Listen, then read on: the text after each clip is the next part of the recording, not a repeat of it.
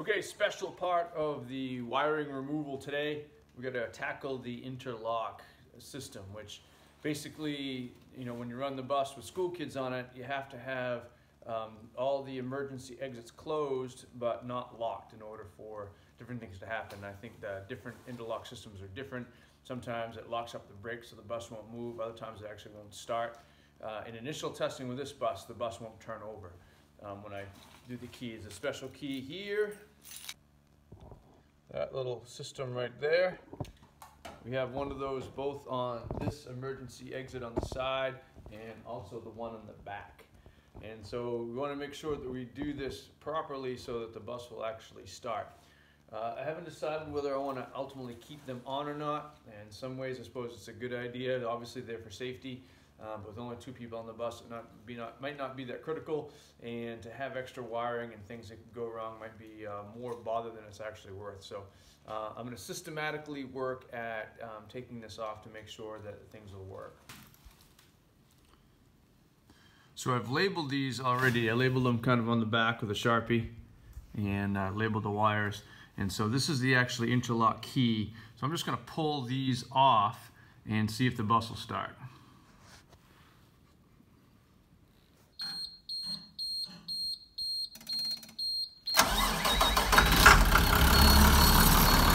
So it starts, that's good news. Now I'm gonna actually see if it moves to see if that brakes lock up or not.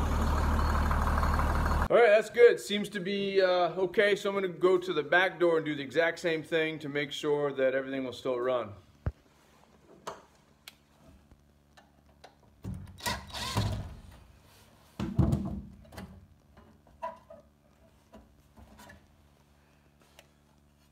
Completely disconnected. Looks like uh, two power leads and a ground in the ground leads.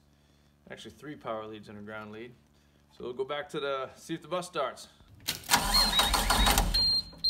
Okay, so we've checked the emergency exit doors, uh, both back and the side, and so now we got to see if we can do the uh, roof latches or the roof hatches, and we got to check the windows too. So I'm going to follow the same process. From what I understand, if it's only one wire going up to the exit hatches, um, that you can just unclip them. But I'm going to do the same process. So I'm going to cut this right at the crimp, and then I'll make sure the bus can start, and then I'll go back to the, do the back one as well, and then we'll work on the windows.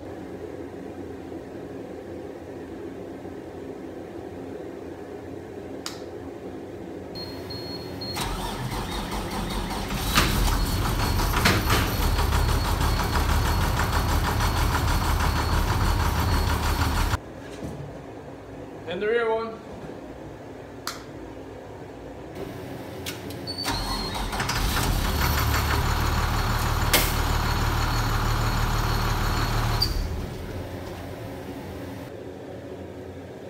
When I pulled the wires from the emergency roof hatches and I'm going to make sure that I label them just in case I need to put them back.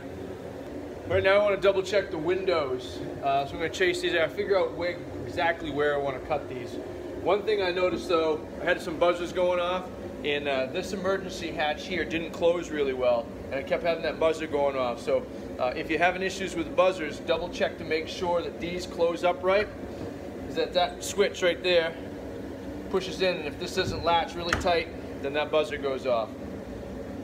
But I'm going to double check I don't know if I'm gonna cut it at this connection or somewhere in here, then I'll do the same thing. We'll double check and start the bus to make sure that uh, everything works right. So I think what I'm gonna do here is take out the entire window and disconnect the switch rather than try to cut things. I think that's, uh, I don't know, we'll see how it goes.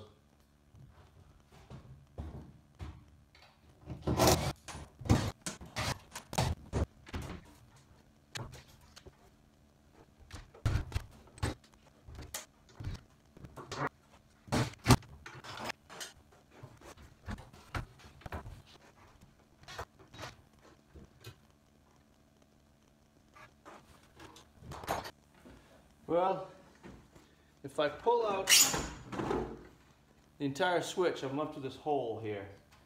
So I think what I will do is disconnect this wire right here. So So this is disconnected. Let's start the bus.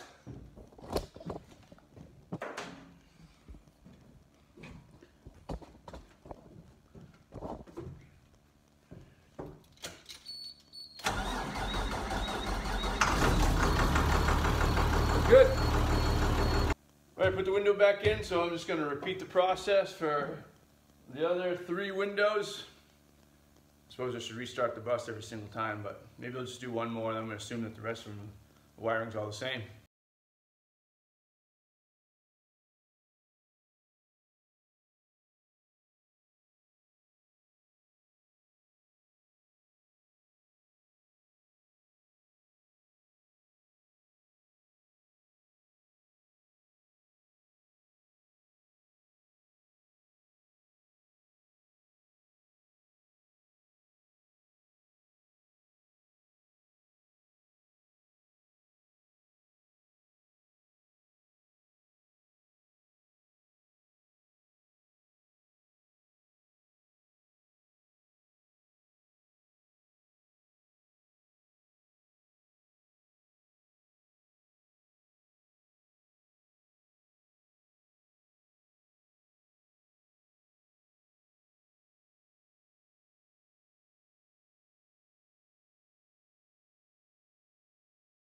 Okay, I've labeled all the wires. I've disconnected them all from the windows. I double checked, started the bus, and moved it a couple times just to make sure everything's working. So everything's disconnected and still working. So now I'm gonna work at start pulling the wires back through the cable. Okay, we're pulling these wires back to the panel. And the good news is we've got the numbers here on the wires. Where'd that one go? Okay, I've traced the wires back through here and these got the same numbers on them right here. They go into this wiring harness. Uh, but I can't really unplug this entire wiring harness because these four wires go back to the brake lights and things. So I'm going to clip these off here and label them and I'll go back, put some duct tape over them now, but then I'm going to go back and shrink wrap them later on. So we'll go. I'll pull those wires back up off the top and then we'll restart the bus again, make sure everything runs.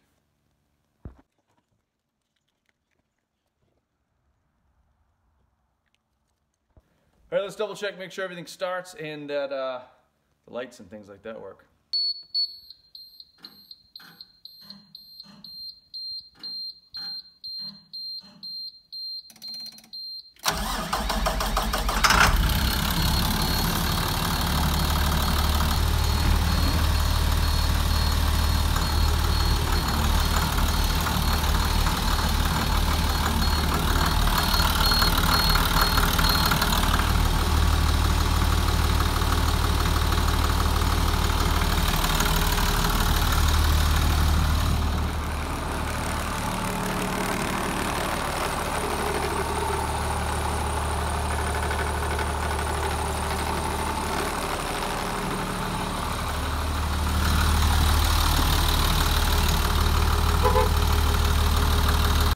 I guess I'd declare that victory.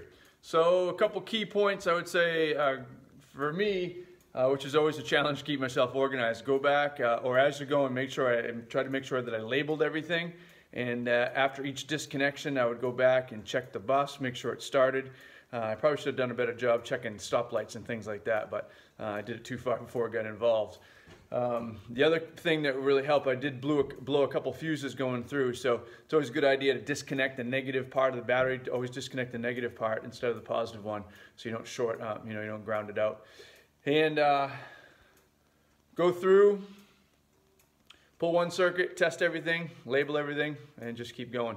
Uh, I know some people actually, rather than disconnect the power source, um, I've read they will just keep the bus running so anything changes while they're going, they know. But uh, seems like a lot of bus running for that and it's loud and uses fuel. So I just decided to check everything as we went. But um, that's how it went. Uh, if you have any questions, please put them in the comments below. Uh, if you have any suggestions of things that you've done, and, uh, especially different interlock systems that may have different wires, and um, please post in the comments. And uh, see you next time.